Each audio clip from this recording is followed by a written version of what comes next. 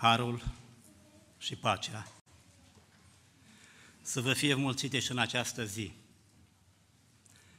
prin cunoașterea lui Dumnezeu și a Domnului Isus Hristos, Mântuitorul nostru.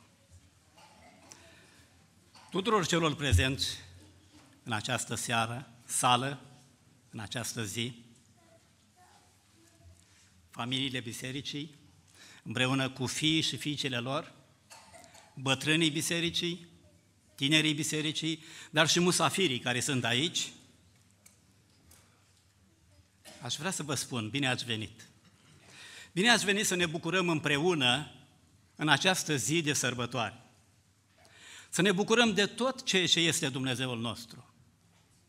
Să ne bucurăm de tot ceea ce face și împlinește Dumnezeul nostru pentru noi.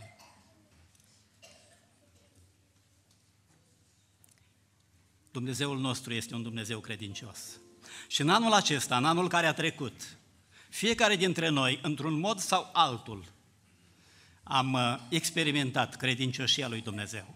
Am experimentat purtarea de grijă a lui Dumnezeu. Am experimentat bunătatea și îndurarea lui Dumnezeu manifestată în diferite moduri. Fiecare am, am experimentat modul în care Dumnezeu lucrează în vecile noastre, prin ocrotirea sa, prin sfințirea de fiecare zi, prin mântuirea pe care o împlinește în vecile noastre mereu. Aș vrea să vă doresc tuturor să aveți parte astăzi de o binecuvântare de plină și sufletul și inima noastră să fie umplute de toată bucuria și pacea pe care o dă credința că Dumnezeul nostru este același este Dumnezeul lui Avram, este Dumnezeul lui Moise, este Dumnezeul lui David, care a scris psalmii aceștia plini de laudă și recunoștință la adresa lui Dumnezeu, este Dumnezeul lui Daniel și a tuturor celorlalți profeți, este Dumnezeul și Tatăl Domnului nostru Isus Hristos, este Dumnezeul primilor creștini și este Dumnezeul creștinilor din Filocalia. Domnul să vă binecuvinteze în această zi și vă invit ca înaintea acestui Dumnezeu să ne ridicăm și să intonăm cu toții un imn de laudă. Invit și pe musafirii noștri care sunt aici, sunteți bineveniți în mijlocul nostru. Bucurați-vă de prezența și de realitatea prezenței Domnului și cântați împreună cu noi, dacă puteți, acest imn la adresa Dumnezeului nostru. Iisuse cel ce ai înviat.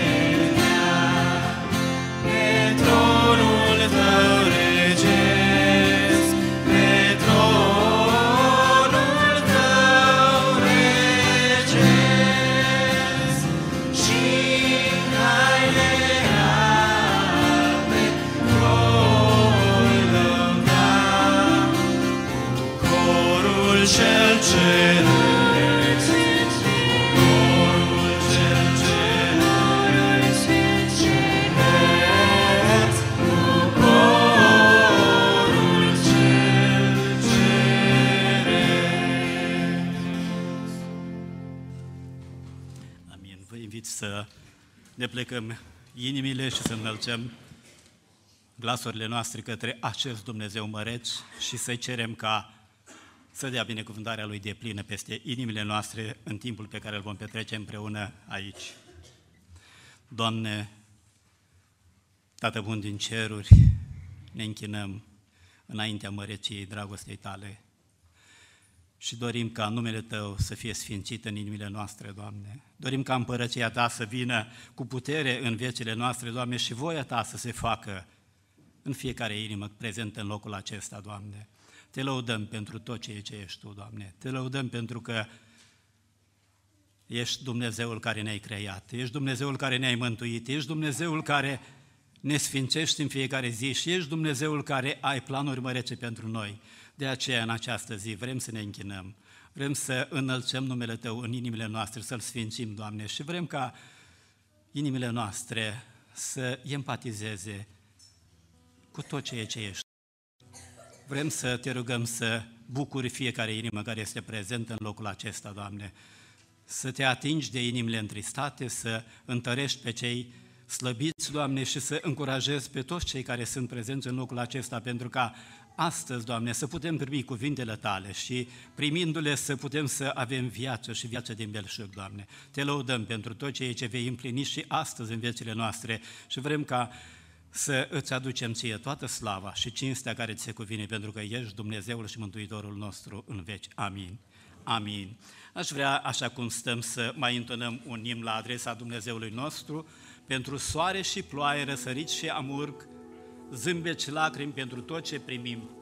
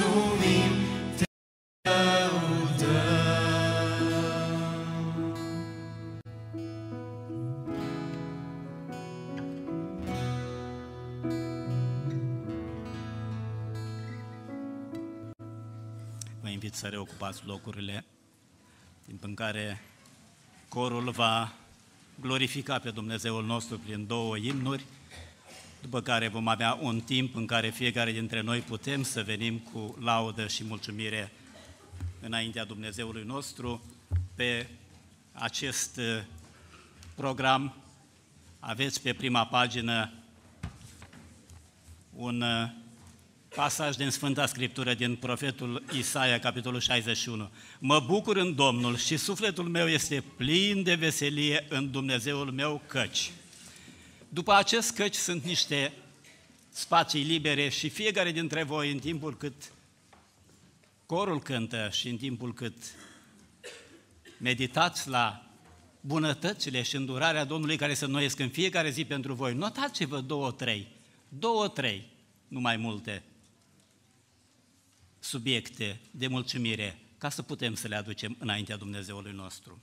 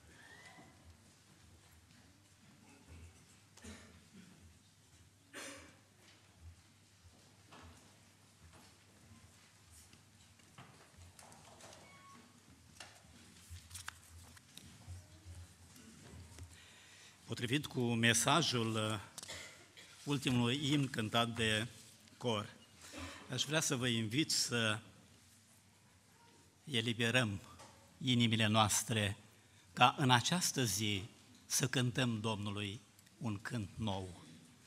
Nu neapărat ceva deosebit ca și cuvinte, ci în mod cert ceva deosebit ca și atitudine de închinare. Aș vrea să citesc pentru timpul în care vom veni fiecare înaintea Domnului cu cuvinte de mulțumire. Un pasaj scurt din Evanghelia Luca, capitolul 10, trei versete, de la versetul 17 la 20. Pagina 1002 în traducerea Cornelescu, cei care aveți traducerea Cornelescu. Cei 70 s-au întors plini de bucurie și au zis, Doamne, chiar și dracii ne sunt supuși în numele Tău.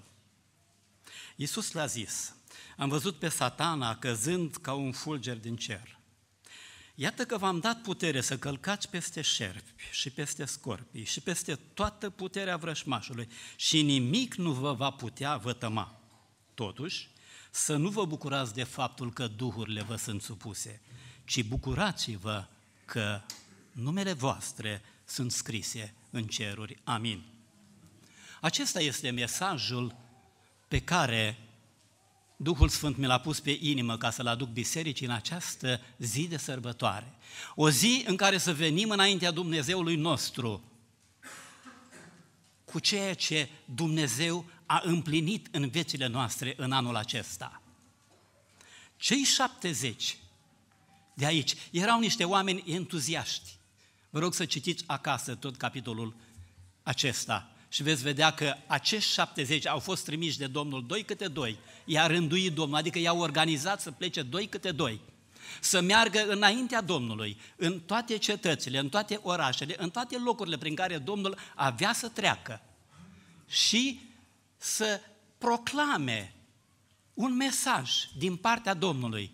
Și mesajul este acesta. Oameni buni, împărăția lui Dumnezeu s-a apropiat de voi.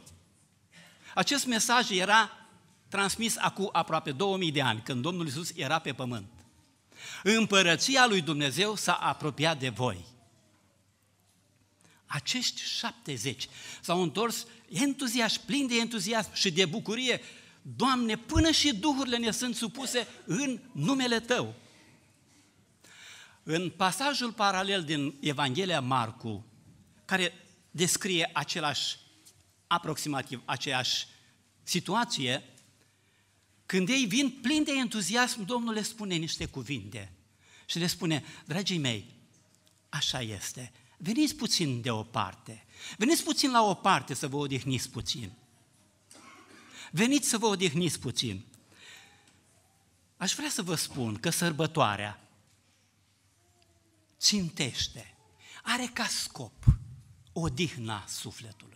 Sărbătoarea are ca scop odihna sufletului nostru și Dumnezeu este Cel care a instituit sărbătoarea în viața oamenilor. Dumnezeu care ne-a creat după chipul și asemănarea sa știa că ne vom angrena în activități și în alergare cotidiană și Dumnezeu a hotărât să aibă niște sărbători pentru popor și Dumnezeu a stabilit sărbători. A stabilit și pentru noi să avem această sărbătoare acum.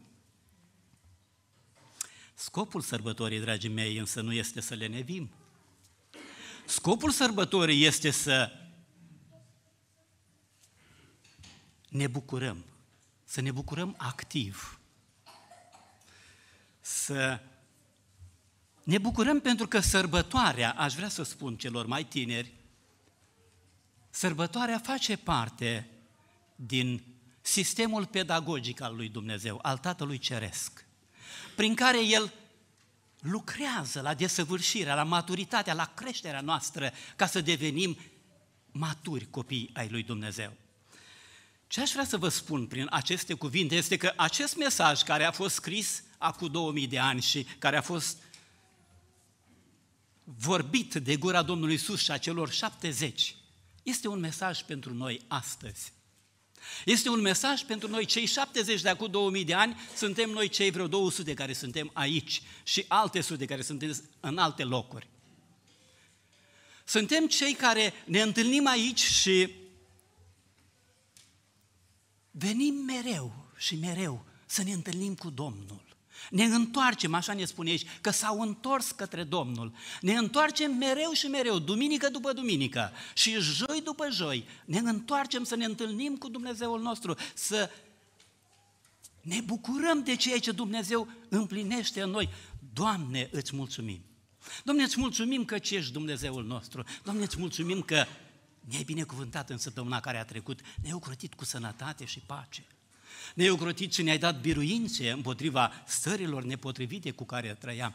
Ne-ai binecuvântat în tot felul și știm noi fiecare câte și ce fel de binecuvântări.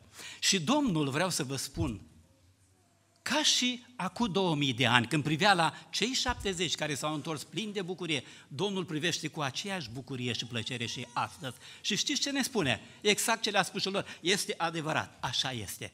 Iată că v-am dat putere. Dacă astăzi ești aici, dacă astăzi ești un închinător, dacă astăzi ești mulțumit aici, este pentru că Domnul ți-a dat putere. Domnul ți-a dat putere ca să trăiești, Domnul ți-a dat putere ca să umble înaintea feței sale, Domnul ți-a dat putere ca să fii sfințit, Domnul ți-a dat putere în tot ce ai avut, în biruințele pe care le-ai avut, Domnul ți-a dat putere și în slăbiciuni. Și Domnul privește cu plăcere la inima ta și la inima mea și la inima fiecăruia din locul acesta și vede că suntem bucuroși. Și Domnul poate să spună, da, da, v-am dat putere și puterea aceasta este cea care vă ține. De aceea este important ca mereu și mereu să venim, să ne întâlnim cu Domnul și Dumnezeul nostru. Nevenirea la întâlnirea cu Domnul provoacă sincope în viața noastră duhovnicească și nu trebuie să ne mirăm atunci când suntem sterpi în bucuria de a-i mulțumi lui Dumnezeu, nu trebuie să ne, să ne mirăm atunci când nu avem niciun fel de chef și mi se pare că toate lucrurile se dărâmă și se duc. Nu! Domnul Dumnezeul nostru este pe tronul slavei sale și toată puterea Lui este dată celor care îl iubesc. Și mai spune Domnul că, iată, eu sunt cu voi în toate zilele până la sfârșit, într-un alt pasaj spune. Aș vrea să vă încurajez în această zi de sărbătoare în ziua aceasta în care ne oprim din alergarea noastră ca să venim înaintea Dumnezeului nostru în sărbătoare. Și aș vrea să vă spun doar trei lucruri. Ce înseamnă sărbătoare? Trei obiective ale sărbătorii. De ce Dumnezeu a rânduit sărbătoare pentru noi astăzi și pentru poporul său din vechime? Le-a rânduit cu trei scopuri, cu trei, trei lucruri deosebite vrea Domnul să facă. Primul lucru, sărbătoarea este un prilej de bucurie. Este un prilej ca să privești la ce Dumnezeu a făcut în viața ta și să te bucuri că Dumnezeu este Cel care împlinește, pentru că prin puterea noastră niciunul dintre noi nu putem să stăm în picioare. Sărbătoarea este un prilej de bucurie, să te bucuri tu și ai tăi, fiul tău, fica ta și cei din casa ta. Bucurați-vă înaintea Domnului. Primul obiectiv. Al doilea obiectiv este să ne aducem aminte. Sărbătoarea este un prilej al aducerii aminte a tot ceea ce Dumnezeu împlinește în viața ta. Sărbătoarea este un prilej să treci în revistă toată istoria vieții tale cu Dumnezeu. Tot ceea ce știi că Dumnezeu a împlinit în viața ta și știi numai tu și Dumnezeu. Și lucrul acesta să fie pentru tine cel de-al treilea obiectiv, sărbătoarea este un prilej de rededicare. Atunci când ne oprim din alergare, ne bucurăm de ceea ce Dumnezeu împlinește în viața noastră. Atunci când ne oprim din alergare ca să sărbătorim, trecem în revistă toate semnele de aducere a minte care sunt presărate în viața noastră din trecut și este un prilej de rededicare. Să ne punem la dispoziție lui Dumnezeu și să spunem, vrednic ești, Doamne, și Dumnezeul nostru să primești închinarea sufletului meu, închinarea familiei mele, închinarea copiilor și a soției mele, închinarea bisericii tale din locul acesta, pentru că tu ai împlinit toate aceste lucruri. Cu aceste gânduri scute, nădăjduind că fiecare dintre noi am pornit către acest loc ca să sărbătorim înaintea Domnului și fiecare am venit cu daruri. Știți că unul din condițiile, una din condițiile care erau puse poporului din vechime era să nu vii cu cu mâinile goale înaintea lui Dumnezeu. nădăjduind că fiecare dintre noi am venit cu inima plină de mulțumire înaintea Dumnezeului nostru. Vă invit să ne ridicăm înaintea Dumnezeului nostru și să exprimăm mulțumirea din inima noastră prin cuvinte simple.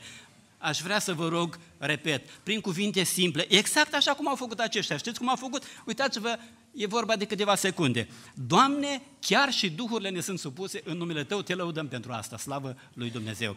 Aș dori ca în această zi de sărbătoare au dreptul să mulțumească Domnului toți. Și aș vrea ca un frate prezbiter, cel mai în vârstă dintre frații prezbiteri, să înceapă acest timp de rugăciune, apoi să fie copii, dacă sunt copii în sală care vor să mulțumească în cuvinte simple și uh, din inimă Domnului nostru, apoi tinerii, femei și bărbați, așa, și să încheie iarăși un frate prezbiter, cel mai tânăr din frații prezbiteri, fratele Ovidiu, ne plecăm inimile înaintea Domnului, ne înălțăm sufletul către Domnul nostru și îi aducem laudă și mulțumire în timpul care urmează. Amin.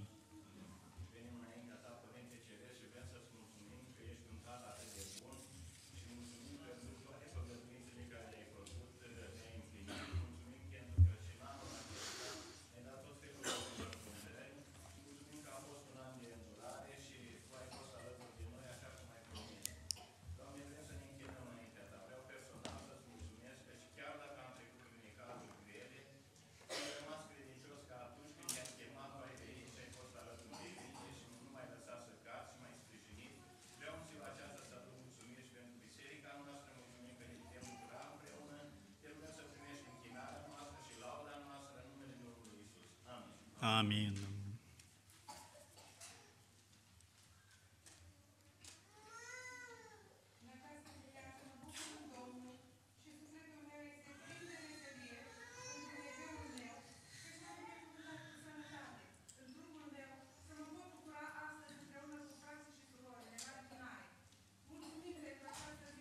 an ai fost cu noi. Ne-ai purtat în brațul Tău,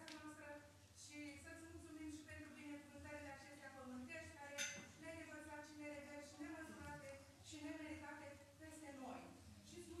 Doamne,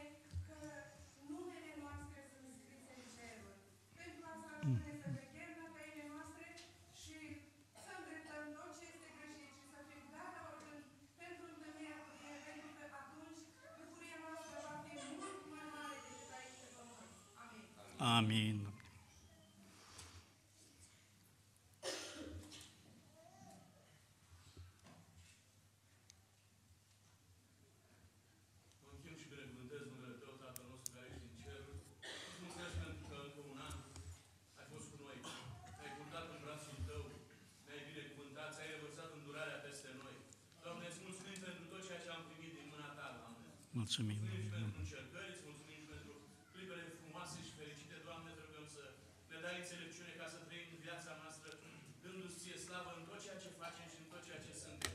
Mulțumim, Doamne, pentru că te-ai îngrijit de noi. Și nu mai mult, și nu mai nu în ultimul rând, Doamne, vrem să-ți mulțumim pentru Domnul Isus Hristos, care a murit pentru noi, care ne-a dat nădejde și speranță. Și, Doamne, te rugăm pentru toți acei care și-au întors fața de la Tine. Să iei în brațul Tău. Să-i întorci. Amin.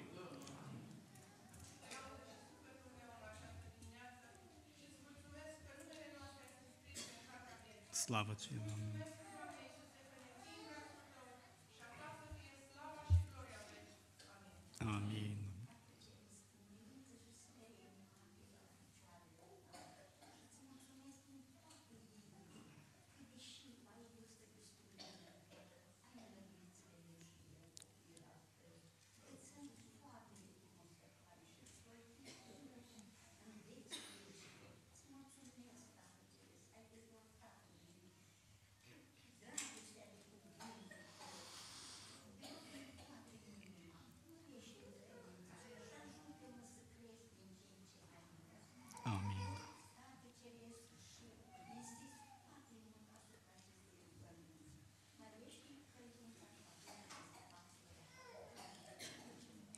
Amin.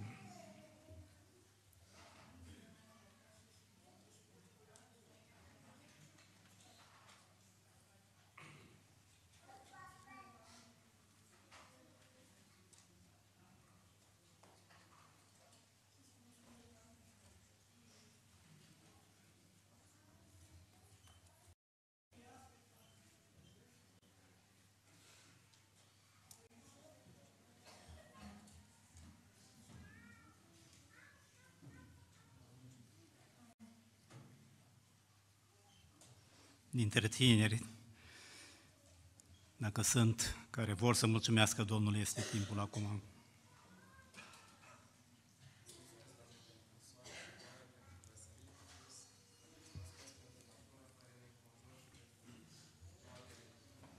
Mulțumim, Doamne.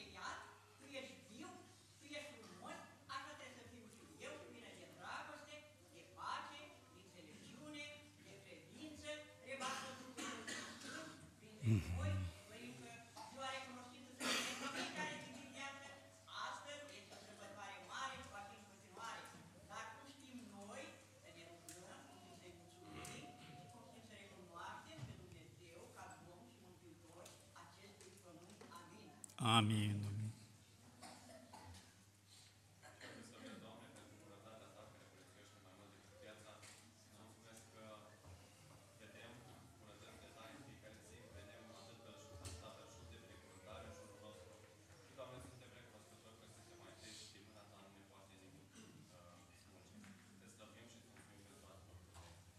Amen.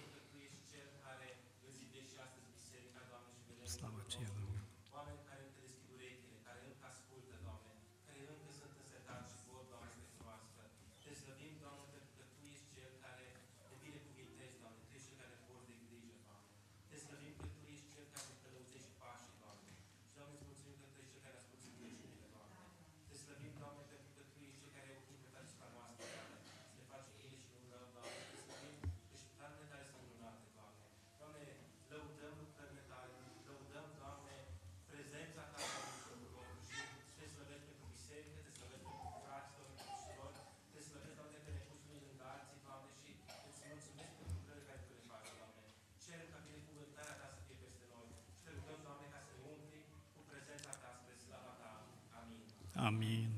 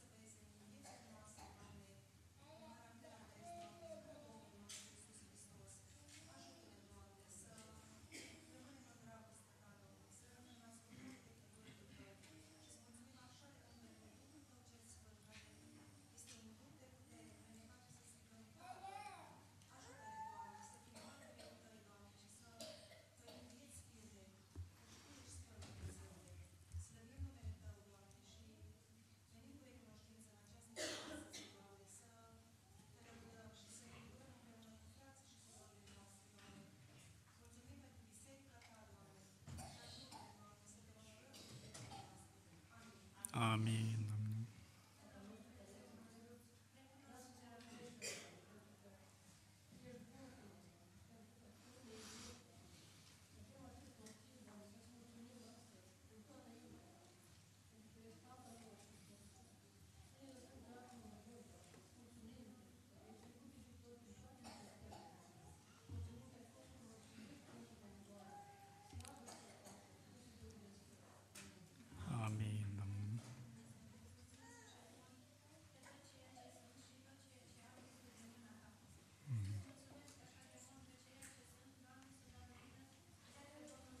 Slavă ție, Domnule!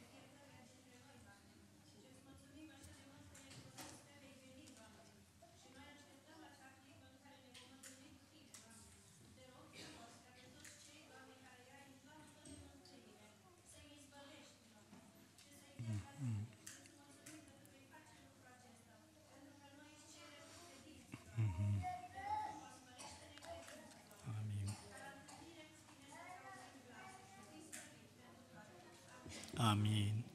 Cu fratele Ovidiu încheiem acest timp de mulțumire.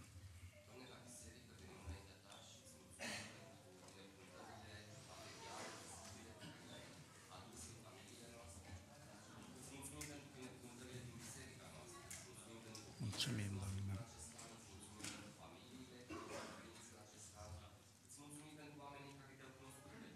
Slavă ție, Doamne.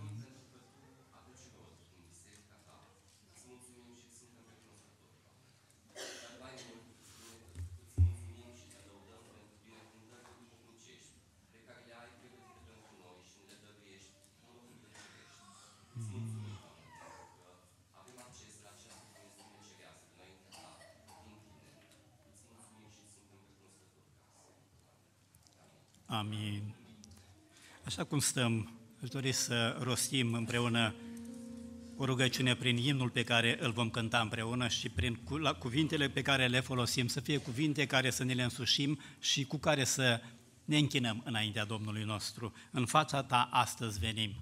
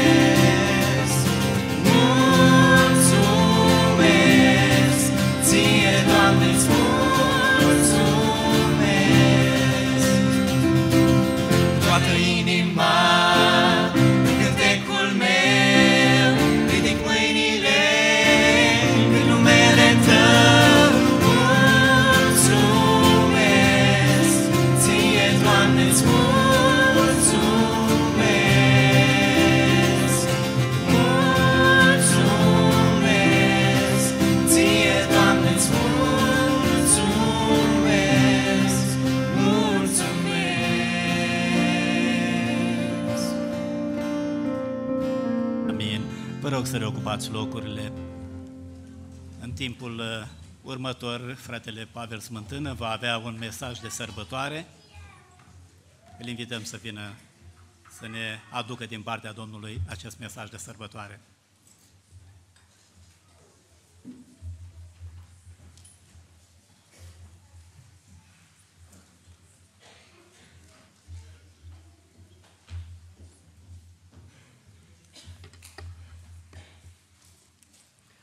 Hristos a înviat. Este o sărbătoare, învierea Domnului Isus. E mai mult decât un fapt istoric. Vă invit să deschidem și să privim un pic în cuvântul Domnului. Aș dori să citim din Evanghelia după Ioan, capitolul 7, versetele de la 37 la 39 și apoi și din numeri. Ioan 7, de la 37 la 39.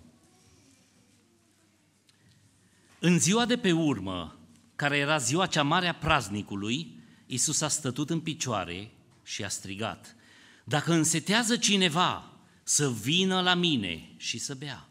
Cine crede din mine, cine crede în mine, din inima lui vor curge râuri de apă vie, cum zice Scriptura. Spunea cuvintele acestea despre Duhul pe care aveau să-l primească cei ce vor crede în el, căci Duhul Sfânt încă nu fusese dat, fiindcă Isus nu fusese încă proslăvit. Și din Cartea Numeri, capitolul 29,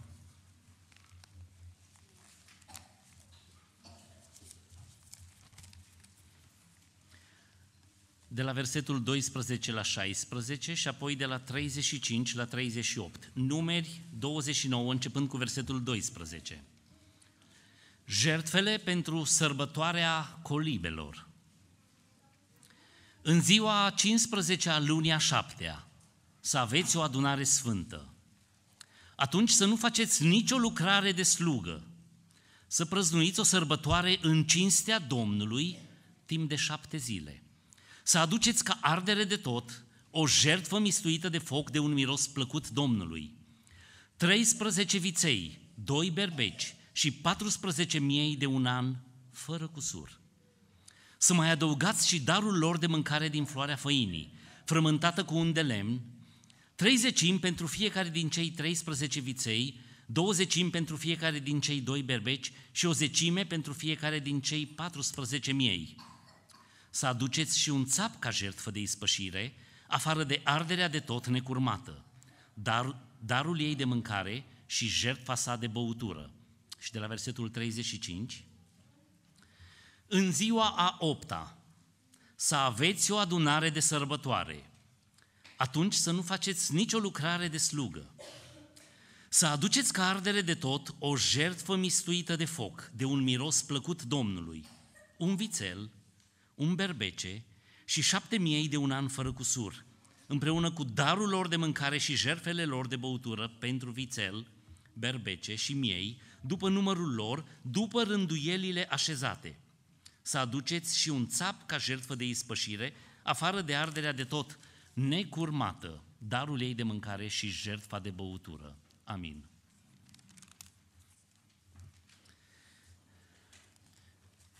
În ziua cea de pe urmă, care era ziua cea mare a praznicului, am citit și ultimul, ultimul pasaj care l-am citit din uh, Cartea Numeri ne descrie această zi cea mare a praznicului. Era sărbătoarea corturilor.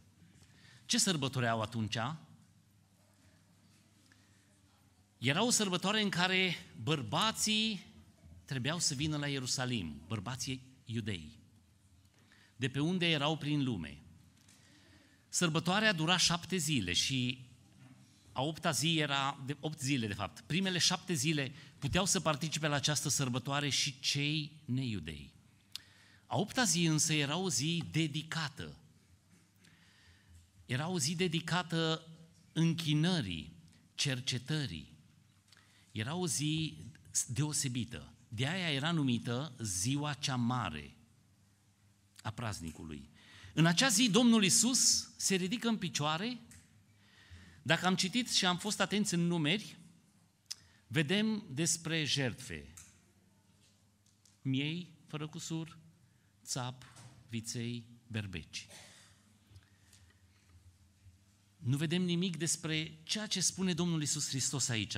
Dacă însetează cineva. Dacă însetează cineva.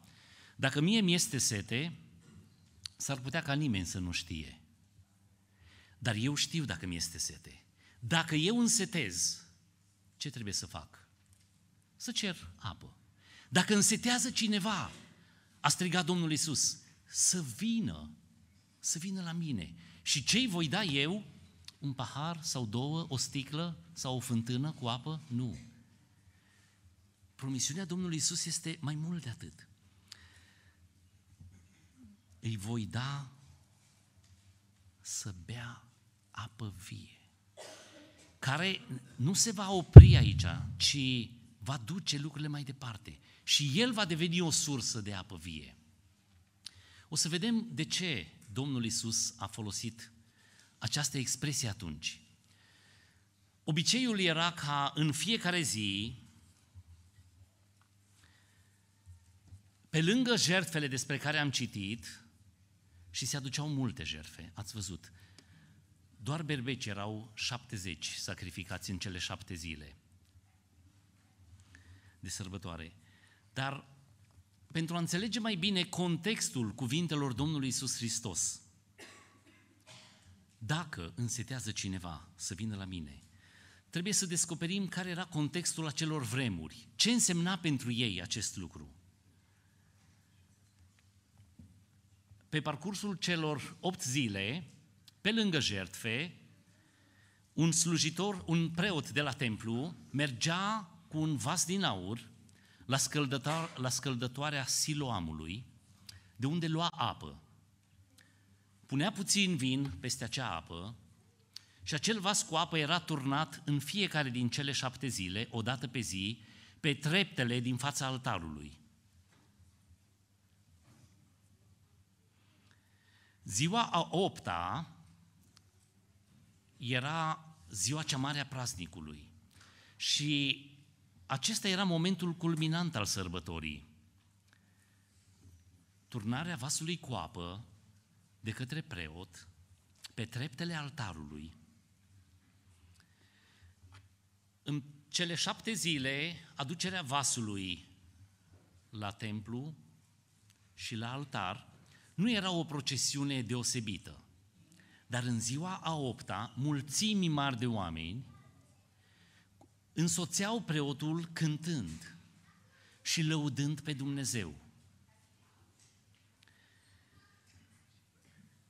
Când ajungea vasul la altar, se făcea o liniște de plină.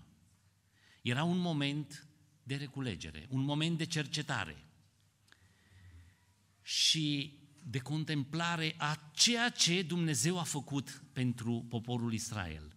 Ce a făcut Dumnezeu pentru poporul Israel? I-a scos din Egipt și când erau în pustie, în pustie, ce reprezintă pustia? Reprezintă viață? Nu, moarte.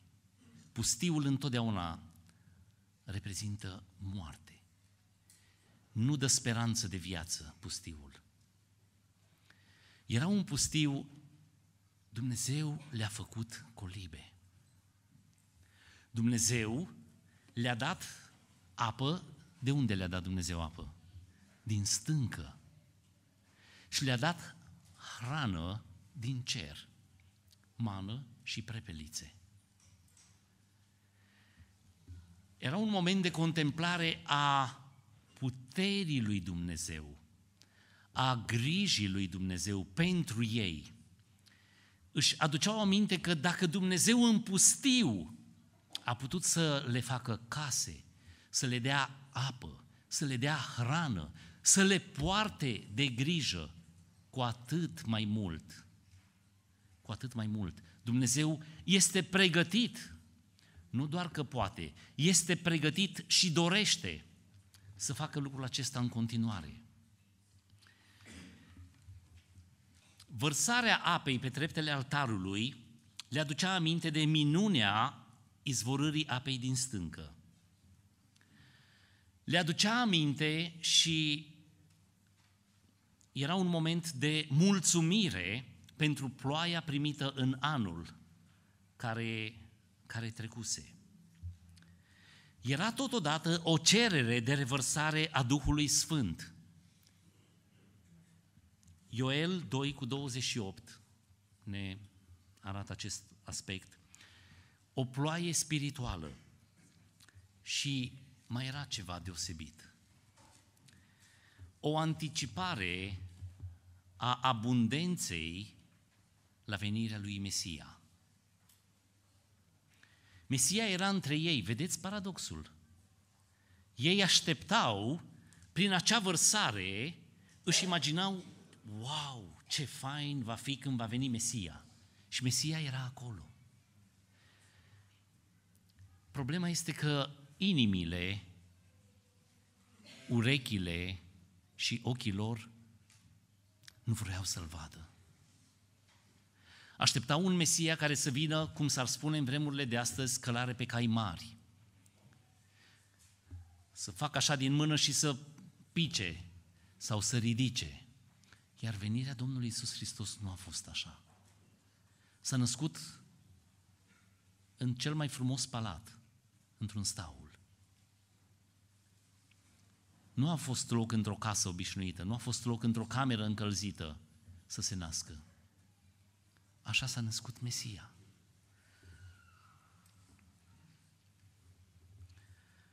Poporul Israel sărbătorea și își amintea purtarea de grijă a lui Dumnezeu. Aștepta să vină Mesia. Mesia era între ei. Și Mesia nu doar că era între ei. În acele momente, Duhul Domnului Isus Hristos nu a putut să mai stea liniștit. La începutul capitolului 7 din Ioan, frații Domnului Isus îl îndeamnă să meargă la praznic. Și Domnul Isus spune, duceți-vă voi înainte, am să vin și eu. A venit după aia, ne spune pe la versetul 10 încolo, a venit mai pe ascuns Domnul Isus la praznic. A început să învețe pe la mijlocul praznicului. A început să le spună, să le vestească. Și văzând că inima lor este, știți cum era inima lor de atunci? Exact ca și inimile noastre de astăzi.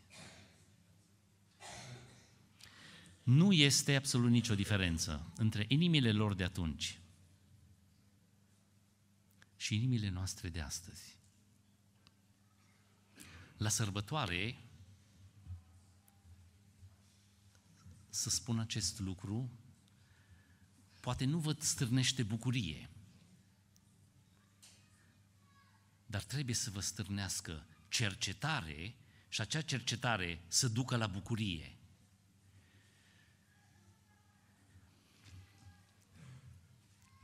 Inimii, inimile noastre astăzi nu-L răstignesc pe Hristos în modul în care L-au răstignit ei atunci. Dar avem atât de multe alte moduri, mai perfide, de a-L răstigni pe Hristos. Avem atât de, alte, de multe alte moduri, la fel ca în sărbătoarea, sărbătoarea era în cinstea Domnului. Deci sărbătorile nu erau un fel de party ca poporul să se simtă bine. Nu era o distracție, ci era o sărbătoare în cinstea Domnului. Acum, întrebarea este, Domnul avea nevoie ca poporul să-L cinstească? Domnul se simțea mai bine dacă poporul se aduna în cinstea Domnului? Nici de cum. Dumnezeu care a creat cerurile și pământul, care te-a creat pe tine, care m-a creat pe mine, care ține întreg universul în mâna Lui, nu are nevoie de recunoștința mea sau de recunoștința ta. Însă, noi suntem cei care avem nevoie să simțim iubirea Lui. Acea iubire care crește pe măsură ce recunoaștem dragostea Lui pentru noi. În momentul în care inima mea se revarsă în mulțumire și recunoștință față de Dumnezeu, Dumnezeu nu se simte mai bine stând pe tron. ci inima mea crește, simțind dragostea Lui pentru mine. Este important pentru noi astăzi să ne amintim cum Domnul ne-a binecuvântat și în anul acesta. Pentru că astăzi inimile noastre au nevoie să fie umplute de dragostea născută din recunoștință. Și astfel, încrederea noastră în Domnul se mișcă de la nivelul la care suntem la un nivel următor. Avem nevoie să creștem, să crească dragostea noastră, care este izvorâtă din recunoștință. Pentru ca încrederea noastră în Dumnezeu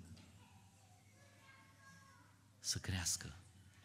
La ce ne ajută să crească încrederea noastră în Dumnezeu? Știți, ă, este în mod deosebit o problemă a bărbaților. Când, ă, când bărbații au o problemă, primul lucru care este? Să încerce să găsească o rezolvare. Dacă are ideea strălucită de a o rezolva, se simte mai bărbat, cu ghilimelele de rigoare. Se simte bine. Soția, familia, copiii îl apreciază ce soț, ce tată priceput avem noi. Uite, a rezolvat problema. Asta e o problemă a bărbaților, că deseori sau prea, dese, prea adeseori uită să aducă problema înaintea lui Dumnezeu.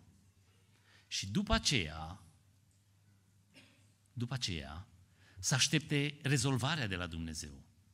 Nu știu dacă ceilalți bărbați din sală se confruntă cu acest sindrom, dar uh, eu uh, mă lupt cu acest sindrom. Poporul Israel sărbătorea și și amintea cum Dumnezeu le-a purtat de grijă în pribegia lor prin pustia Sinai. N-au avut case, n-au avut grădină, n-au avut ape unde să poată să facă agricultură, să crească animale, să se întrețină. Și Dumnezeu i-a întreținut.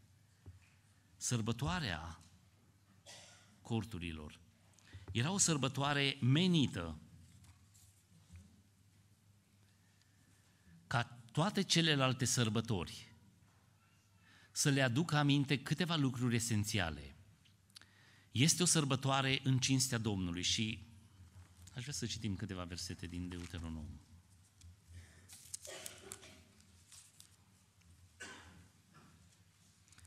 Deuteronom, capitolul 16, de la versetul 13, să prăznuiești sărbătoarea corturilor șapte zile, după ce îți vei strânge roadele din arie și din teasc. Să te bucuri la sărbătoarea aceasta, tu, fiul tău și fica ta, robul și roaba ta, și levitul, străinul, orfanul și văduva care vor fi în cetățile tale. Să prăznuiești sărbătoarea șapte zile în cinstea Domnului Dumnezeului tău, în locul pe care îl va alege Domnul căci Domnul, Dumnezeul tău, te va binecuvânta în toate rodurile tale și în tot lucrul mâinilor tale și de aceea să fii vesel. De trei ori pe an toți bărbații să se înfățișeze înaintea Domnului. Deci, sărbătoarea, parcă există un paradox aici, în acest pasaj. Să prăznuiești sărbătoarea nu este o sugestie, nu este un îndemn, este o poruncă. Cum ar fi astăzi să spui copiilor, vă poruncesc să mergeți să vă distrați. S-ar mai distra oare? Dumnezeu ne cheamă pentru că suntem tentați și suntem atrași în tot felul de lucruri care ne obosesc, care ne consumă energiile, care ne fură bucuria. Și Dumnezeu vrea să reînnoiască bucuria mea și bucuria ta. Vrea să aducă sărbătoarea în tine, nu doar tu să te duci la sărbătoare, ci sărbătoarea să fie în inima ta. Deci sărbătoarea, putem spune că sărbătoarea este o disciplină.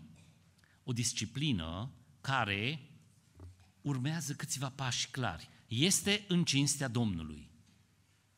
Sărbătoarea se desfășoară, se desfășura această sărbătoare într-un loc anume. Bucuria nu era opțională. Bucuria izvora din adâncul inimii oamenilor. Nu era cineva care îi poruncea, bucură-te și omul începea să sară în sus de bucurie, ci datorită a ceea ce Dumnezeu a făcut în istorie, dar și astăzi în prezent, în acest an pentru noi, ne bucurăm. Era în această sărbătoare, fără muncă, fără lacrimi, fără singurătate. Fiecare trebuia să vină, și văduva, și orfanul, și levitul, și străinul, familia întreagă, copiii. Era o sărbătoare pentru toți. Era o sărbătoare a comunității. Mai era un lucru deosebit, să nu vii cu mâinile goale. Să-ți aduci aminte și așa cum a spus fratele Donel, o chemare la rededicare. Se pare că mulțumirea și recunoștința sunt uneori mai grele decât multe lucruri dificile de făcut. Pentru că a mulțumi și a fi recunoscător, o altă față a acestui aspect înseamnă că trebuie să-ți recunoști slăbiciunea, nevoia. Și trebuie să-ți aduci aminte că nu ești pe cont propriu, că nu depinzi de tine însuți. Poporul Israel, când a fost în Egipt, nu au avut trei arhitecți care să le proiecteze cum să facă corturile, N-a venit uh, un master chef să le pregătească, uh, să le dea rețeta de mâncare, ci au depins în totalitate de Dumnezeu. Nu a fost măcar 99%, a fost 100% dependență de Dumnezeu. Sărbătoarea trebuie să mă aducă mereu și mereu la altar. Pentru ca altarul să-și facă lucrarea în inima mea și în inima ta. Și la altar, când ajung, sunt trei adevăruri mari și esențiale care sunt aduse înaintea ochilor noștri. Arderea de tot, jertfa de mulțumire și jertfa pentru păcat. Arderea de tot îi învăța pe copiii poporului Israel, că ei aparțin lui Dumnezeu în întregime. Jertfa de mulțumire, întreaga mea viață depinde de Dumnezeu. Orice aș face, oricât de bun aș fi în ceea ce fac, numărul unu să ajung în domeniul meu de activitate depind de El în întregime. Sunt al Domnului în întregime și depind de El în întregime. Iar jertfa pentru păcat le aducea aminte de un lucru care nu ne place. Lui îi dau socoteală pentru orice lucru. Cui, cine de aici iubește darea de socoteală? Puțini sunt. Nu ne place să vină cineva să spună, hei Pavel, vreau, să vreau să-mi spui cum ai petrecut ziua de ieri. Vreau să-mi spui cum ți-ai încurajat, cum ai încurajat, cum ai zidit, cum ai fost preot în casa ta. Bărbații au, iarăși, cred, o problemă poate mai mare decât femeile, cu darea socotelii. Arderea de tot, jertfa de mulțumire și jertfa pentru păcat nu sunt valabile doar în Vechiul Testament. Da, a încetat tăierile acestor numere mari de viței, berbeci, țapi, miei. Dar arderea de tot, jertfa de mulțumire și jertfa pentru păcat continuă. Arderea de tot, Domnul Iisus Hristos vine și ne-o descrie într-un mod cu totul nou, cu totul inedit și ne învață să ne ancorăm viața în aceasta.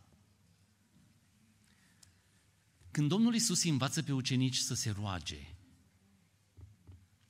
Tatăl nostru care ești în ceruri, sfințească-se numele Tău, vie împărăția Ta, facă-se voia Ta, precum în cer și pe pământ. Mărturisește că suntem ai Domnului în întregime. Nu suntem ai noștri, suntem ai Domnului. Jertfa de mulțumire, pâinea noastră, cea de toate zilele, dă-ne nouă astăzi. Depindem de El în întregime.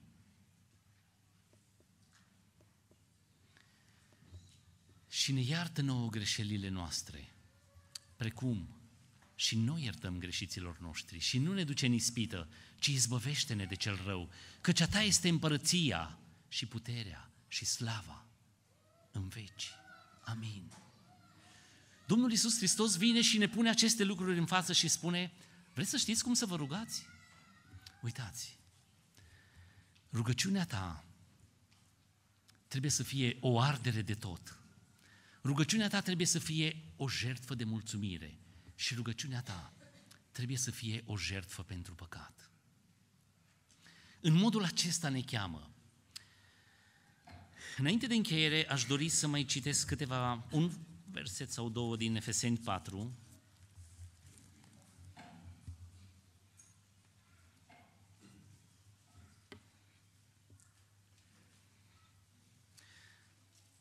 Versetul 24. Apostolul Pavel ne spune și să vă îmbrăcați în omul cel nou, făcut după chipul lui Dumnezeu de o neprihănire și sfințenie pe care o dă adevărul. Amin. Sărbătoarea presupune și o ținută. Dacă ne uităm în pilda Domnului Isus Hristos, dacă ne uităm în Apocalipsa, unde vedem multă sărbătoare. Cel care a venit la, săr, la nuntă, fără haina de nuntă, și a fost întrebat, de ce ai barba așa de mare? Nu. Unde ți este haina de nuntă? A fost scos de la sărbătoare. Dragii mei, sărbătoarea este în cinstea Domnului. Sărbătoarea trebuie să aibă loc în termenii în care Dumnezeu a instituit-o. Să fie viața noastră o sărbătoare. Să fie viața noastră, nu doar rugăciunea noastră, o ardere de tot. O jertfă de mulțumire. O jertfă pentru păcat. Și aceasta, prin puterea noastră, va fi complet imposibil. Dar vedeți, vine Apostolul Pavel și ne aduce aminte. Pavel le scrie atât corintenilor, galatenilor, efesenilor, colosenilor despre îmbrăcare cu Hristos, despre îmbrăcare în neprihănire. Să vă îmbrăcați în omul cel nou. Făcut după chipul lui Dumnezeu. Deci îmbrăcați-vă, fraților, la sărbătoare, îmbrăcați-vă după chipul lui Dumnezeu, cu neprihănire și cu sfințenie. Cred că atunci sărbătoarea noastră va fi sărbătoare cu adevărat. Și știți de ce? Pentru că ceea ce îi aducea pe evrei la Ierusalim, la templu și la altar, nu era forma altarului, nu era clădirea templului, ci era prezența Domnului acolo. Prezența Domnului îi atrăgea acolo. Prezența Domnului îi făcea să plece chiar și cu patru luni înainte. Atât a durat pentru unii călătoria. Să meargă în prezența Domnului. Dacă venim înaintea Domnului în aceste straie de sărbătoare și Domnul este prezent aici, putem spune că am adus o jertfă, o jertfă, o ardere de tot. Putem spune că am adus jertfa noastră de mulțumire și o jertfă pentru păcat și că acestea au onorat pe Dumnezeu. Fie ca Domnul să vă binecuvinteze și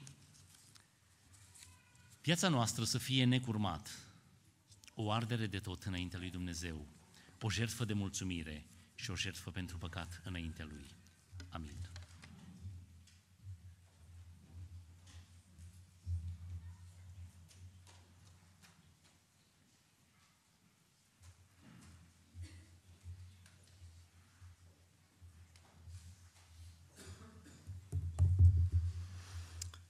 Ce anume v-a îndemnat să veniți în această zi în locul acesta? O fi același simțământ, aceeași trăire pe care o avea, așa cum spunea fratele Pavel, evreul atunci când pleca pe jos, să traverseze din nord și până la Ierusalim să se întâlnească, să fie în prezența lui Dumnezeu? Nu știu dacă ați avut cu toții pix să completați după participarea la timpul de mulțumire, au fost puțini care au completat, dar eh, să știți că nu, nu, nu scăpați de tema aceasta, este o temă pe care trebuie neapărat să o faceți până la sfârșitul zilei, da? Și eventual o să le strângem la sfârșit și o să le citim jos, în sala de jos, dar este trăirea voastră, trăirea este simțământ, simțământul cu care ați venit astăzi să vă întâlniți cu Domnul.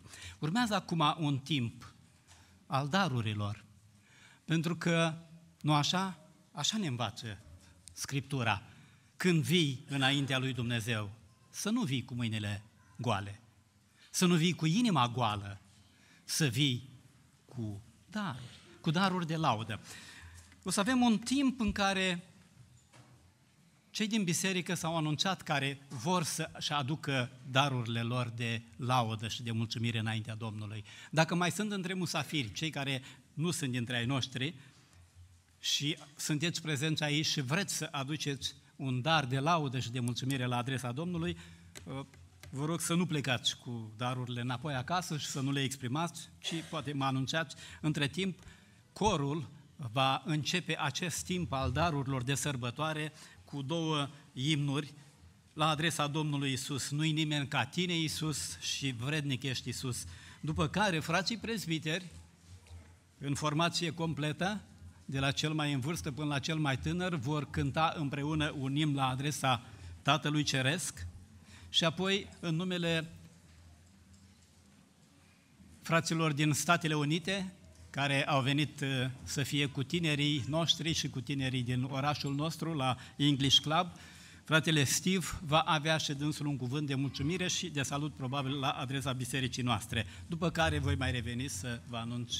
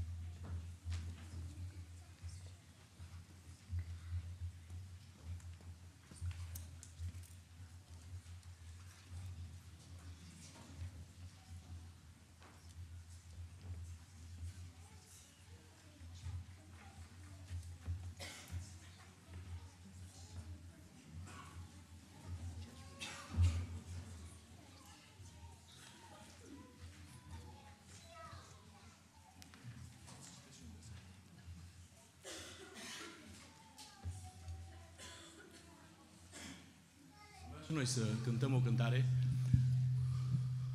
să aducem și noi slavă lui Dumnezeu și mulțumirile noastre. Aș vrea să citesc un verset din uh, 1 Tesaloniceni, capitolul 5, versetul, 7, uh, versetul 18, care spune așa, Mulțumiți lui Dumnezeu pentru toate lucrurile, căci aceasta este voia lui Dumnezeu în Hristos cu privire la voi. Acum nu știu câți dintre noi de aici îi mulțumim lui Dumnezeu pentru toate lucrurile. Vedeți, nu spune mulțumiți lui Dumnezeu pentru toate lucrurile bune și pentru, binecuvânt, pentru toate lucrurile pe care le credeți voi că sunt binecuvântări, ci mulțumiți lui Dumnezeu pentru toate lucrurile. Și putem să facem lucrul acesta dacă am înțeles și versetul acela din uh, Roman de la capitolul 8, care spune, toate, pe de altă parte, știm că toate lucrurile lucrează spre binele celor ce iubesc pe Dumnezeu. Iubiți frați și surori și prieteni, nu știu de câteva ori v-ați oprit când ați trecut printr-o încercare și să-i mulțumiți lui Dumnezeu că ați trecut pe acolo. Sau de câte ori ați înțeles că un lucru care s-a părut rău a lucrat de fapt spre binele nostru de mai târziu. Pentru că Dumnezeu a decis să ne treacă pe acolo ca să învățăm, ca să ne încer- niște lucruri, ca să ne încerce inima și ca să ne facă să fim mulțumitori și să înțelegem cu adevărat că noi depindem în tot ceea ce suntem și în tot ceea ce facem de El și de dragostea Lui.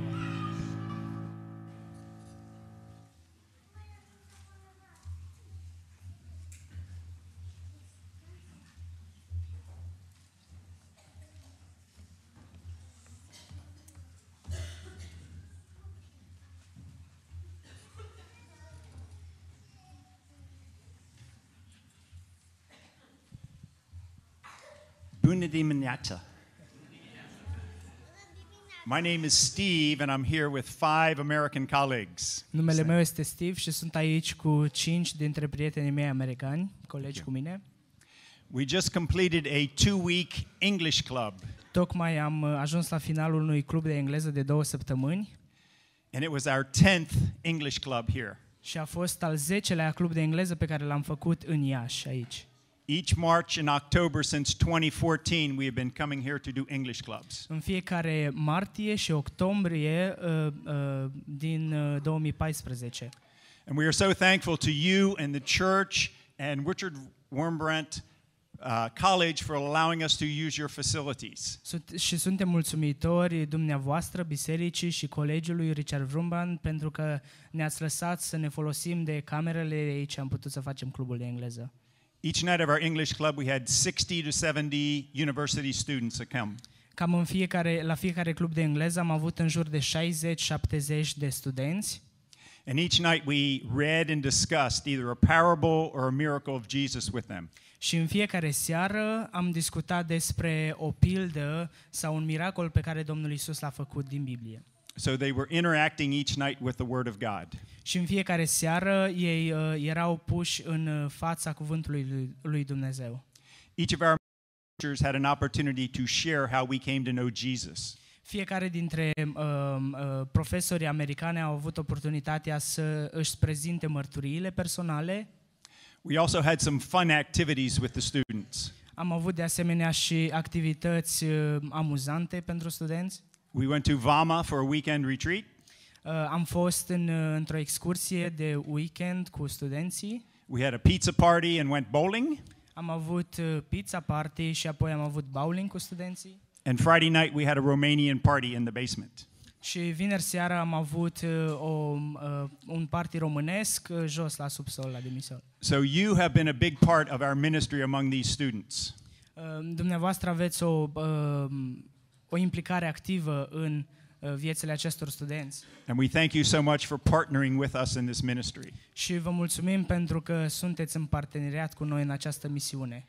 Please pray for the leaders of tomorrow team as they follow up with these students. Vă rog să vă rugați pentru echipa liderii de mâine pe parcursul cât ei vor uh, uh, antrena mai departe studenții, Nico and Elena, uh, pentru Nicu și Elena, Mircea and Carmen, Mircea și Carmen, Tobias, Tobias and others as they try to meet with these students individually and share the gospel with them. și alții care încearcă să se întâlnească cu studenții uh, personal și le vestesc Evanghelia în același timp. Also, pray for four of us Americans who are going to Chisinau, Moldova this afternoon to do another one week English club. De asemenea, vă rog să vă rugați pentru patru dintre uh, noi, profesorii care mergem la Chișinău, începem un club de engleză acolo So, thank you again for your hospitality and partnering together. și vă mulțumim din nou pentru ospitalitate și pentru că sunteți parteneri în lucrare cu noi. To God be the glory. Lui Dumnezeu fie toată slava. Amin. Amin.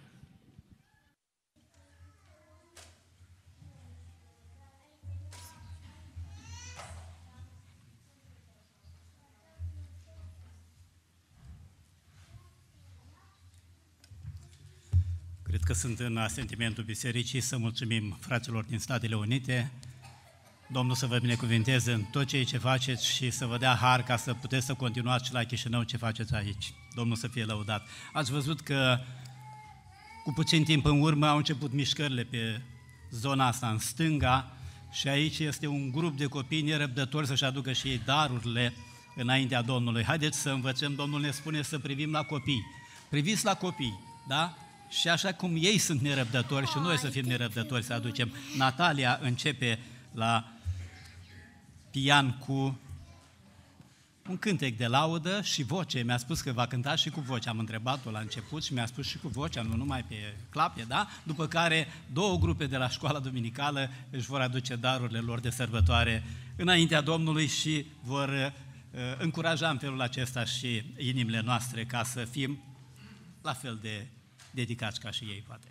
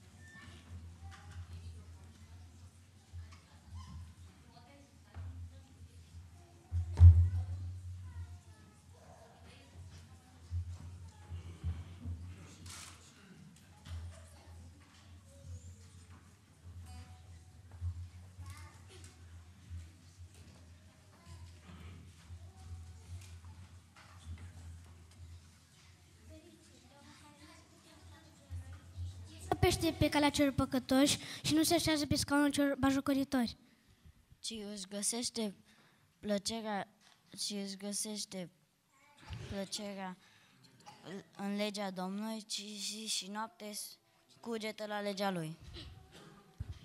El este ca un pom sădit lângă un izvor cu apă, care își dă roade, rodul la vremea lui și, și ale cărui frunze nu se veștejesc. Tot ce începe duce la bun sfârșit. Nu tot așa este cu cei răi, că cei sunt ca pleava pe care o spulberă vântul. De aceea cei răi nu pot in...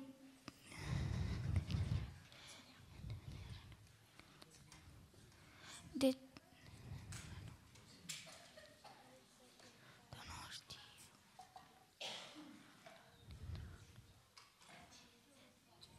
De aceea cei răi nu pot ține capul sus în ziua judecății, nici cei păcătoși în adunarea celor neprihăniți. Căci Domnul cunoaște Căci Domnul cunoaște calea celor neprihăniți, dar calea păcătoșilor duce la piaire.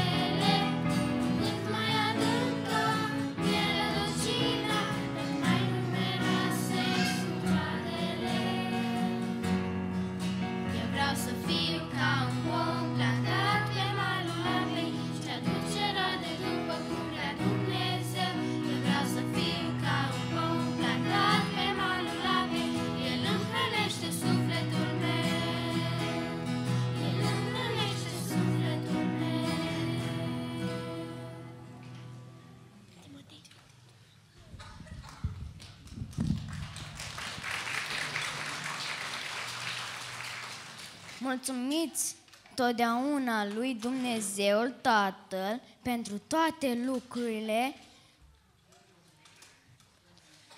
în numele Domnului nostru Isus Hristos. Amin.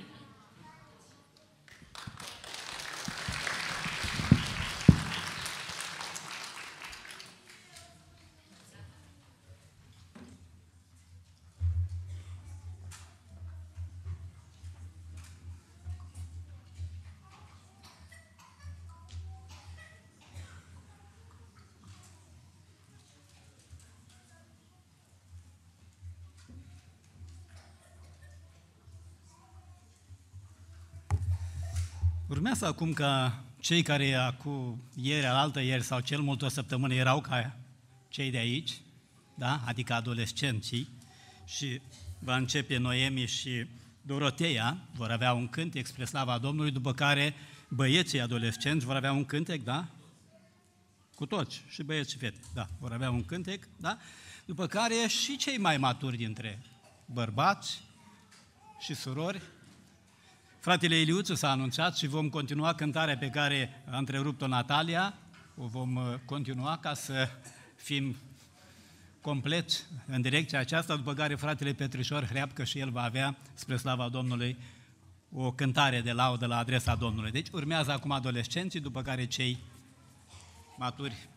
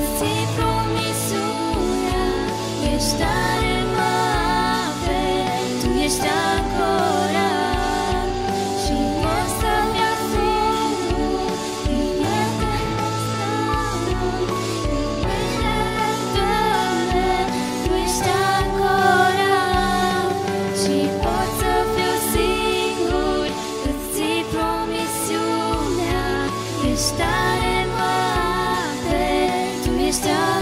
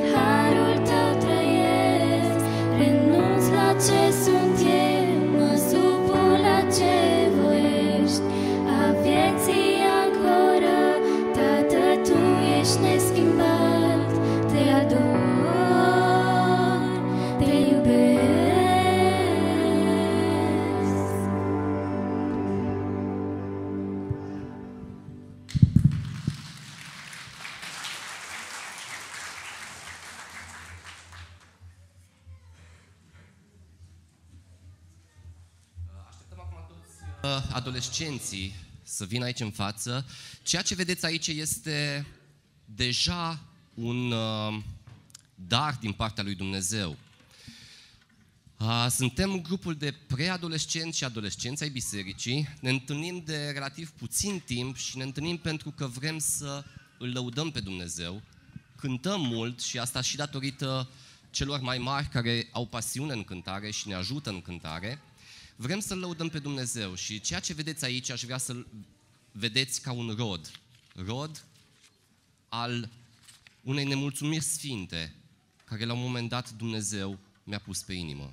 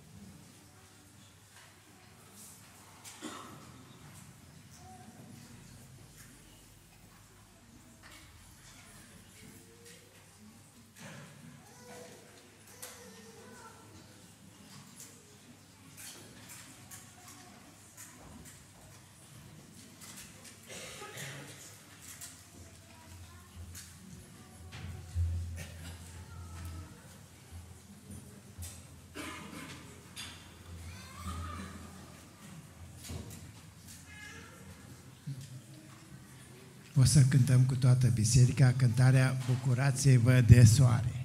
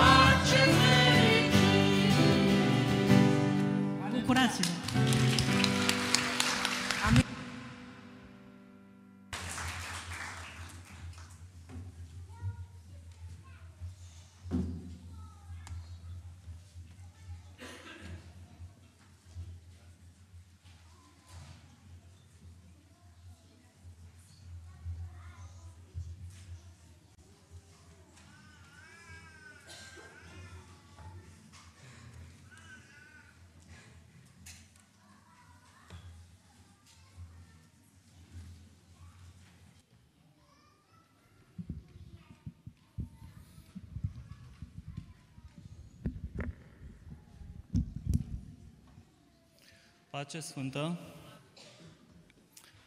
Uh, mă bucur în Domnul și sufletul meu este plin de veselie în Dumnezeul meu, căci Dumnezeul meu m-a mântuit. Domnul Iisus a luat păcatele mele și fără de legile mele, m-a făcut Fiul Lui, Dumnezeu, m-a înfiat, mi-a dat bucuria mântuirii, care mă bucur azi că este sărbătoare, că cântăm atâtea cântări și este bine să fie sărbătoare, dar cred că una din cele mai mari bucurii este bucuria mântuirii, mântuirii sufletului. Psalmistul David în Psalmul 51 spune Dăm iarăși bucuria mântuirii tale. Apostolul Petru, în prima lui epistolă, ne spune de o bucurie negrăită și strălucită pe care o avem fără să-L vedem pe Hristos, dar credem în El fără să-L fi văzut, îl iubim pentru că așteptăm ca sfârșit al credinței noastre mântuirea sufletelor noastre. Despre asta aș vrea să cânt, despre bucuria mântuirii. Cu ajutorul Domnului.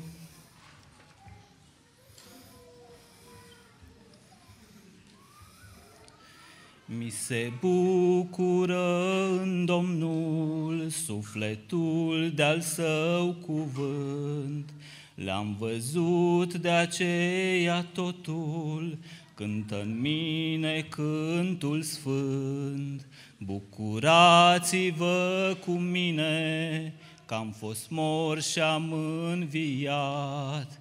Tatăl plin de bucurie, ce-a avut mai bun mi-a dat. Bucuria mântuirii e tăria mea, bucurie strălucită, ea e moștenirea mea.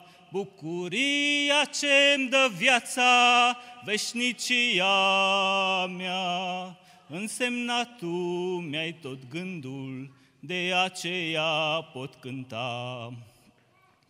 Semănat am și cu lacrimi, dar am secerat bogat, cu cântări de veselie, ce în rai m-au așezat.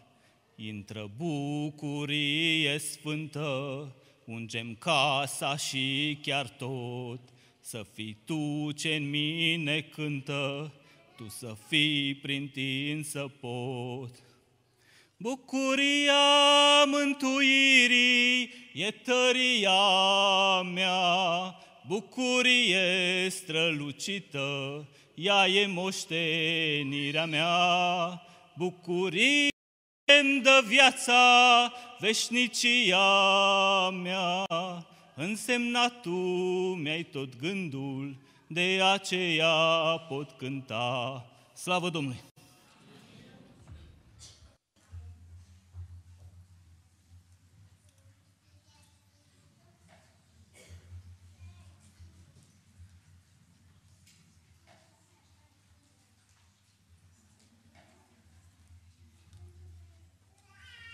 Pe Ivana nu știu unde să o așez.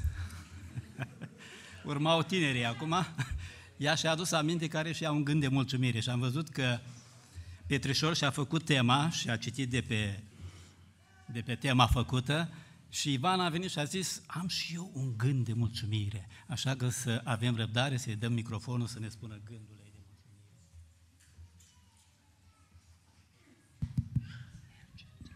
Eu sunt mulțumitoare pentru părinții mei și pentru mâncarea dată de către Dumnezeu.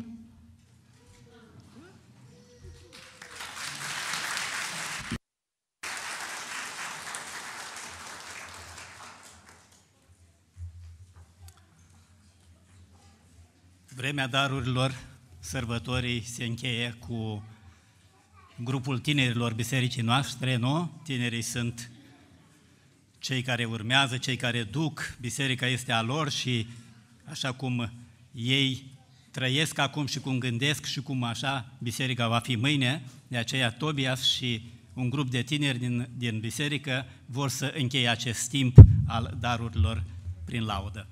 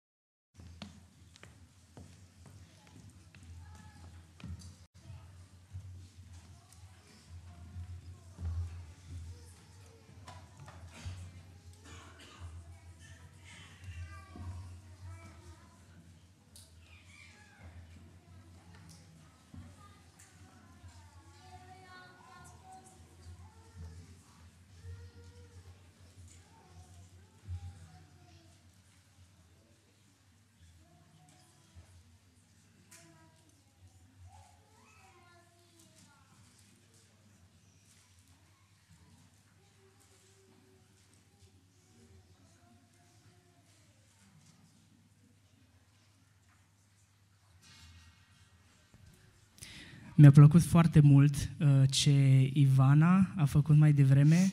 A spus că vrea să fie mulțumitoare lui Dumnezeu pentru părinții ei și pentru mâncarea pe care o primește de la Dumnezeu.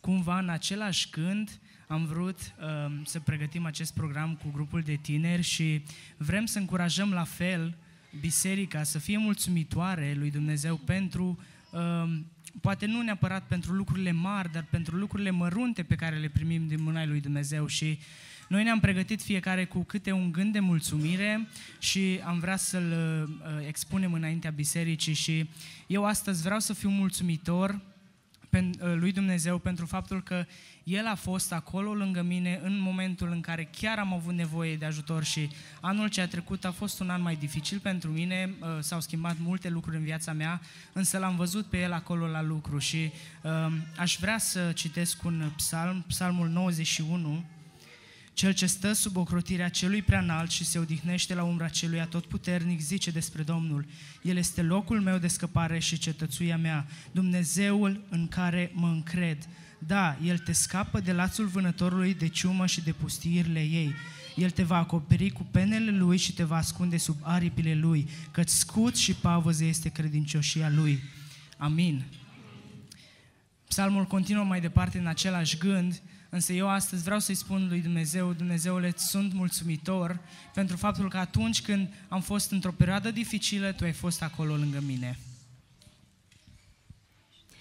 Și eu vreau să continui tot cu mulțumire la adresa lui Dumnezeu. Uh, Ca să fiu, să dau un exemplu ceva mai recent, chiar săptămâna aceasta am trecut printr-o provocare pentru care, nu știu, nu mă așteptam în primul rând să trec prin ea și apoi am primit, bineînțeles, ajutorul, dar în asta aveam pace. Dar faptul că am ajuns acolo a fost uh, interesant. Uh, Eu uh, uh, am două joburi part-time, unul la universitate și unul ca prezentator de universități în străinătate și merg prin partea de nord-est a României și prezint elevilor de, din licee uh, universitățile respective.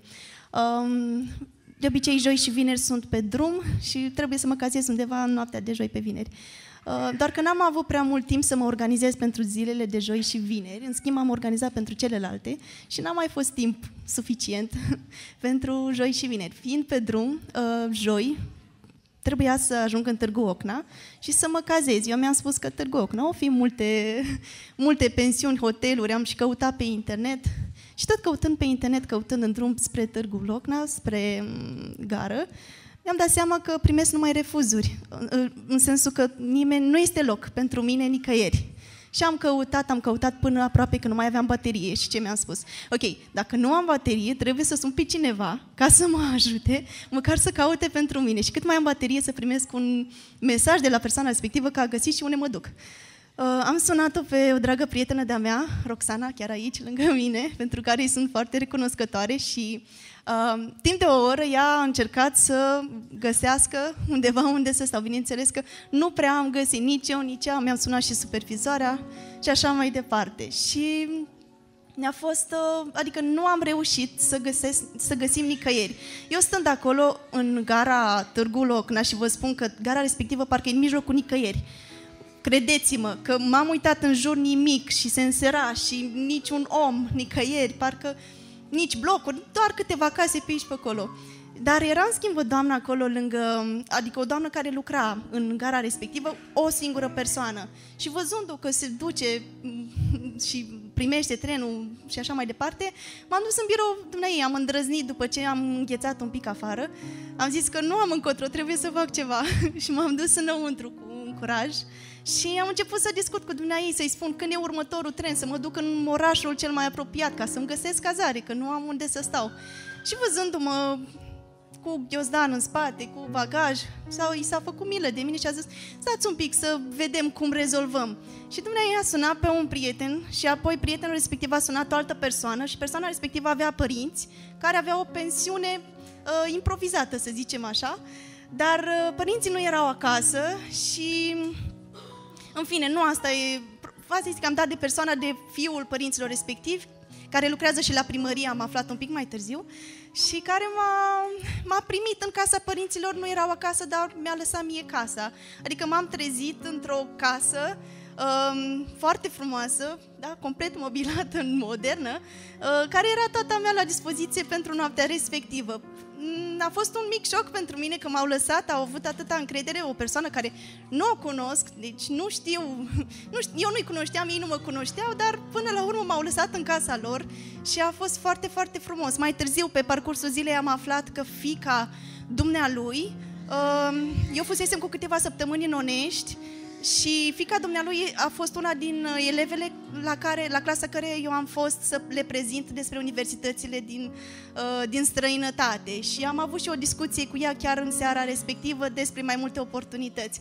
Vreau să zic că Dumnezeu lucrează incredibil, adică sunt niște momente în care nu știi cum, cum dai, din, din om în om dai și ajungi la persoana potrivită, la persoanele potrivite. Și vă spuneam că da, îmi puneam semne de întrebare când stăteam în, pe gară, acolo pe, pe, în gară și mă, mă întrebam ce cu mine, dar în același timp am zis, Doamne, eu cu tine înainte, orice ar fi. și uh, așa îmi spun eu de obicei și întotdeauna mă, îmi încredințez, indiferent de situația în care uh, sunt și vă încurajez și pe dumneavoastră, indiferent când uh, vedeți că parcă lucrurile se înrăutățesc, nu că se uh, rezolvă, dar dacă vă încredeți în Domnul, cumva tot ajungeți să um, prin el, nu știu, lucrurile se rezolvă întotdeauna. Întotdeauna găsește cu cale și pentru asta sunt foarte mulțumitoare. Îi mulțumesc că prezența lui este în viața mea și întotdeauna mă ghidează și se îngrijește de mine și cred că dacă sunteți atenți la acele semne, se îngrijește de fiecare în parte și vă încurajez să vă încredeți în el și pentru asta eu sunt mulțumitoare. Vă mulțumesc! Cu aproximativ un an în urmă, când uh, medicii nu dădeau nicio șansă de supraviețuire nepoțelului meu, Dumnezeu a dat viață, de aceea doresc să-i mulțumesc că este viața și are toate lucrurile în mâna Lui. În anul ce a trecut am reușit să observ oameni din viața mea, de pe lângă mine, nu neapărat foarte apropiați, um, și am văzut cum Dumnezeu a lucrat în moduri diferite în viața fiecăruia dintre ei și îi sunt mulțumitoare lui Dumnezeu că mi-a distrus cumva șablonul după care mă ghidam eu și credeam că doar mai într fel lucrează.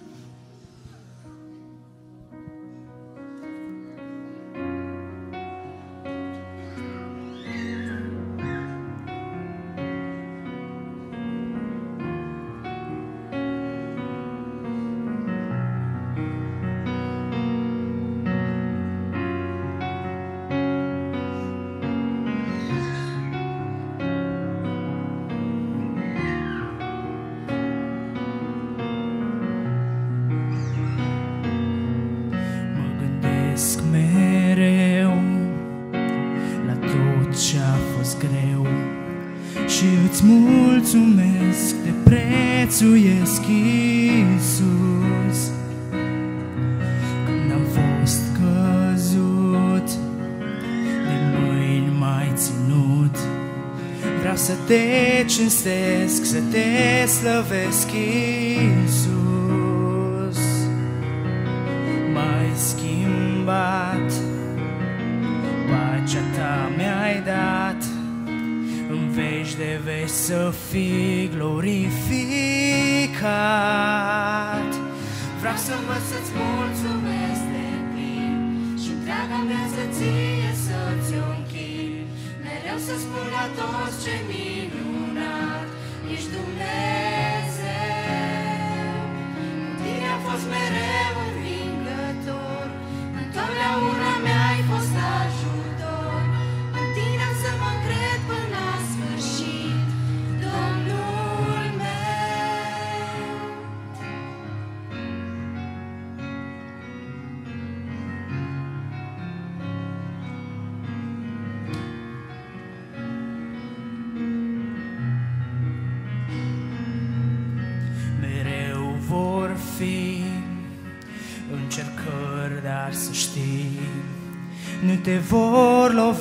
dacă vei privi în sus.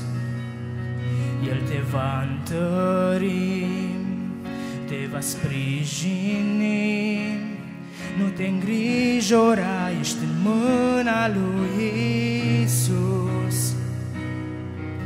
Când pace vei avea, vei putea cânta versurile care spun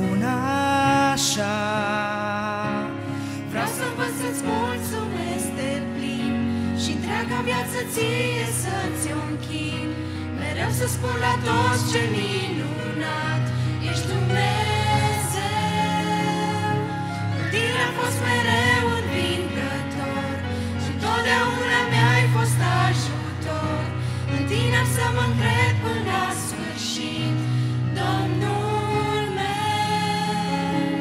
Vreau să vă să-ți mulțumesc de plin și întreaga viață ție să-ți o închin. Mereu să spun la toți ce minunat ești Dumnezeu. Tine am fost mereu învingător, întotdeauna mi-ai fost ajutor. În tine am să mă încred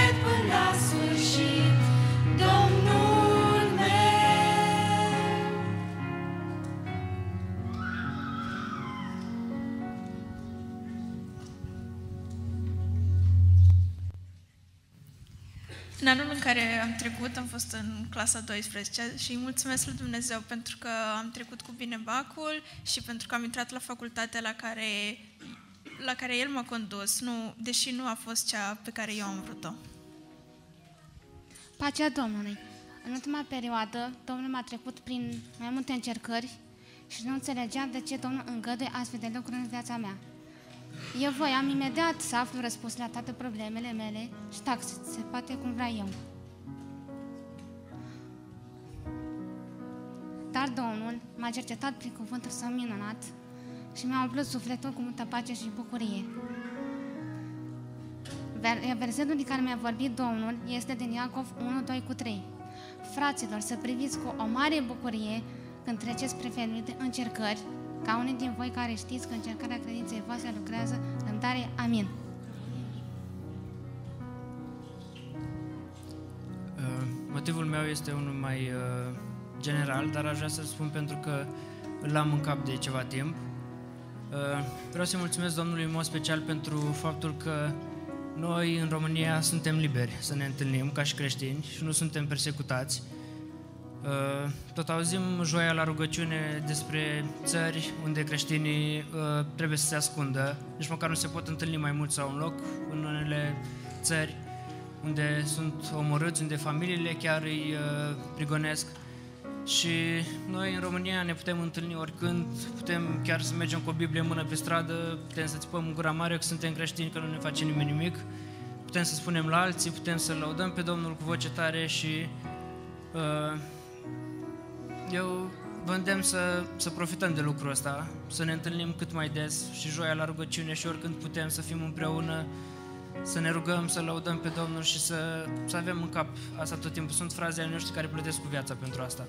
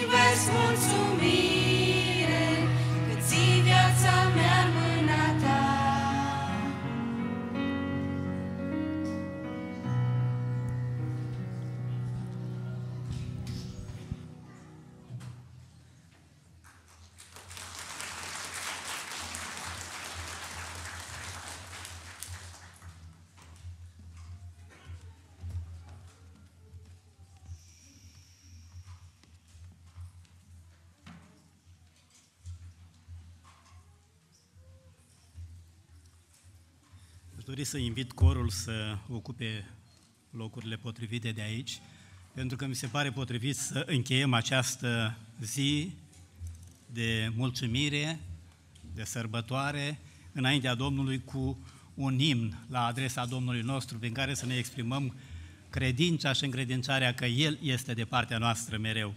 Sprijin mie Hristos când credința îmi dă semne de că nu pot. Tu nu ești? Nu? Da. Aș vrea să vă rog să ne ridicăm cu toții în picioare, să intonăm acest ultim imn în ziua aceasta, înaintea Domnului. Aș vrea să fiți atenți, vă rog, tinerii și familiile tinere care nu au copii, da, la strofa a treia din această din această cântare, deci la strofa a treia, sunt trei strofe, da? Încercați să ieșiți cumva din rânduri, să mergeți în sala de jos, să contribuiți la așezarea mesei. Noi vom veni cam peste un sfert de oră după ce voi plecați de aici. În timpul acestei, uh, acestui imn, vom, uh, ne vom închina înaintea Domnului și cu darurile noastre de bunăvoie.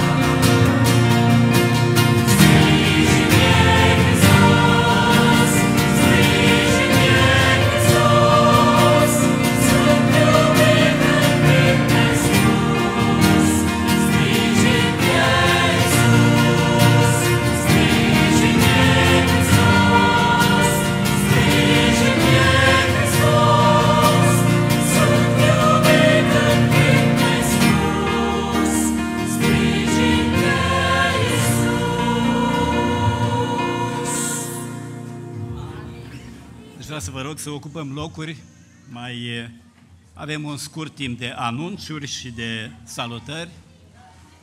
Aș vrea să salut pe musafirii bisericii noastre cu salutul bisericii din Epistola lui Pavel către Romani, capitolul 15, versetul 13, Dumnezeul nădejdii să vă umple de toată bucuria și pacea pe care o dă credința, pentru ca prin puterea Duhului Sfânt să fiți tari în nădejde. Este acum un timp de anunțuri, dacă frații prezbiteri au de făcut anunțuri sau sunt alt salutări de adus, vă rog să veniți în față și să faceți anunțurile.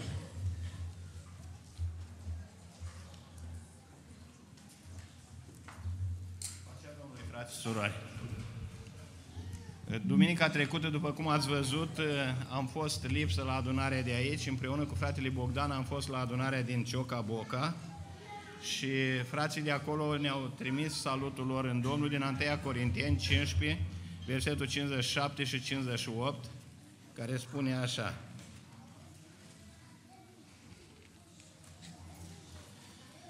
Dar mulțumiri fie aduse lui Dumnezeu care ne dă biruința prin Domnul nostru Isus Hristos.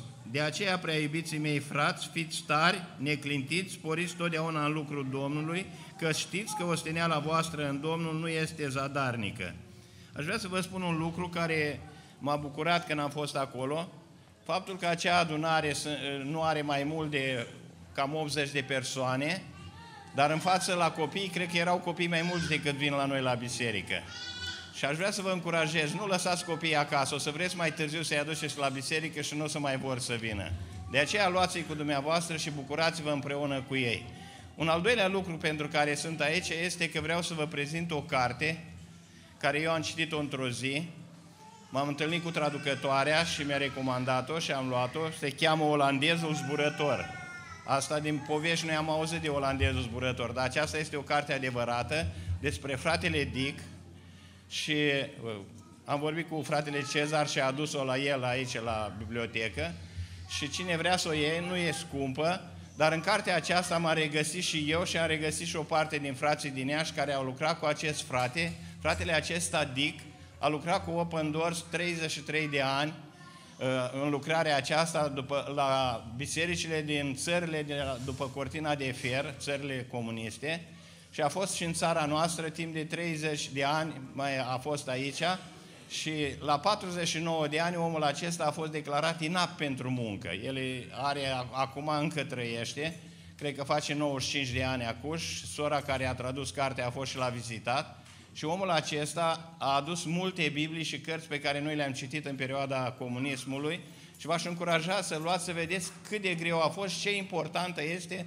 rugăciunea, mai ales pentru țările acestea, așa după cum auzeați de la Sami, noi ne întâlnim joia și ne rugăm pentru țările care sunt în prigoană și pentru misionarii care lucrează. De aceea, dacă veți lua cartea aceasta, veți vedea ce importantă este rugăciunea și cum cred eu că facem un păcat prin omitere cei care nu vrem să venim la rugăciune în privința aceasta, să-i susținem pe cei care trec prin încercări. Aici spune povestea unui contrabandist cu Biblie. Eu cred că el le aducea aici și eu am fost și eu colaborator cu el în sensul că făceam contrabandă cu ele, le duceam dincolo, spre Moldova, spre Rusia. Și Domnul ne-a păzit. Și aici spune în felul următor, o carte pentru oamenii care vor să-L vadă pe Dumnezeu la lucru. Luați cartea aceasta și citiți-o și vedeți că puteți face lucruri mari fiecare, mijlocind pentru cei care trec prin aceste încercări. Vă mulțumesc!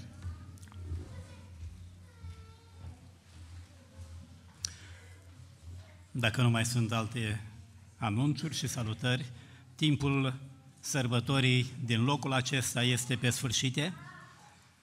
El va continua în sala de jos și toți cei care sunt prezenți aici sunt invitați să rămână cu noi la, în sala de jos. Aș dori să vă invit să ne ridicăm în picioare și să mulțumim Domnului pentru timpul pe care l-am petrecut aici și rog pe fratele prezbiter Pavel Smântână să mulțumească Domnului pentru timpul pe care l-am petrecut și să ceară binecuvântarea Domnului și pentru darurile de mâncare pe care tinerii s-au dus să le pregătească pentru noi.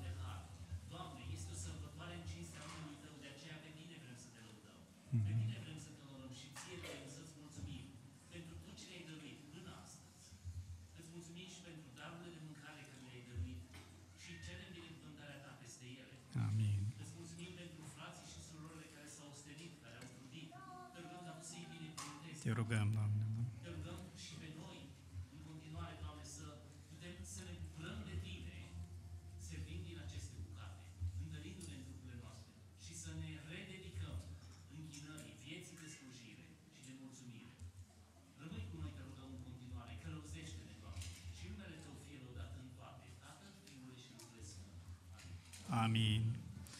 Amin. Timpul de aici s-a terminat. Avem jos timp nelimitat să ne împărtășim unii cu alții, să împărtășim din bucurii, din